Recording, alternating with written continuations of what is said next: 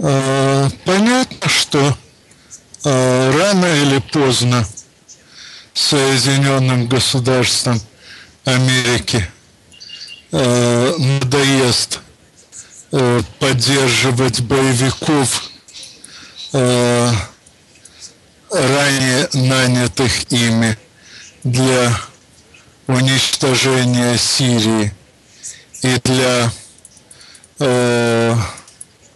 для разгрома э, страны и э, сокруж... для, для сокрушения власти, э, поддерживаемой народом, и э, разгрома самого народа, понятно, что рано или поздно американцы – придут к выводу, что игра не стоит свеч, так же, как в свое время они пришли к выводу, что им слишком дорого обходится поддержание э, откровенно антинародной власти во Вьетнаме и ушли оттуда.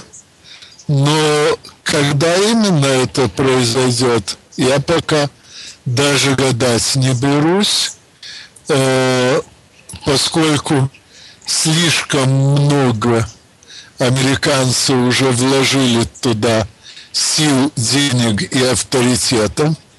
Слишком многие американские деятели э, так или иначе замешаны в поддержке террористов и в других международных преступлениях.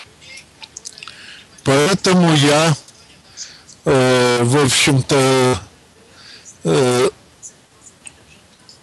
думаю, что даже после э, смены руководства Соединенных Государств Америки э, по всему видно, что народ э, Соединенных Государств накопил изрядное недовольство нынешней политической линии и э, смена тамошнего руководства весьма вероятно уже на предстоящих выборах. Но даже после этого, к сожалению, еще очень надолго там задержится э, террористы и те, кто их поддерживает, просто потому что э, нынешнее политическое руководство слишком многих повязало кровью. Э, но все-таки я надеюсь, что смена э,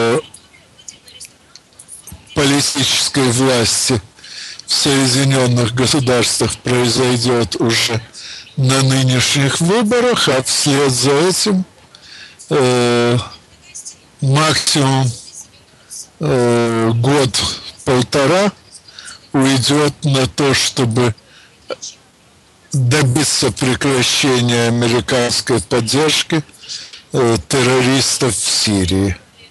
А без этой поддержки им долго не прожить.